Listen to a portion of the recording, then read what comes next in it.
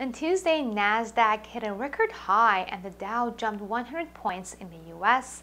Flash Eurozone manufacturing PMI came in at 46.9 versus 39.4 in May, and New Zealand kept its interest rate unchanged as expected. Welcome to the Tickmill Update. I'm Kiana Danial, the founder of the Invest Diva movement.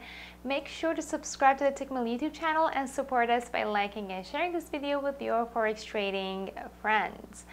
Wednesday's expected main risk event is Germany's IFO business climate for June.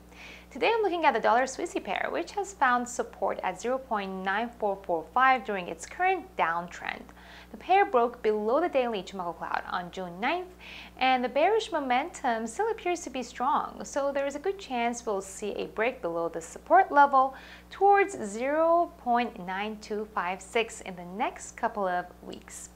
Do you think there is more room for losses for the dollar Swissy pair? Head over to the comment section and let me know.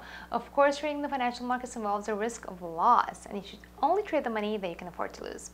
If you like this video, give it a thumbs up and subscribe to the Tickmill YouTube channel. I'll get back to you with more updates tomorrow.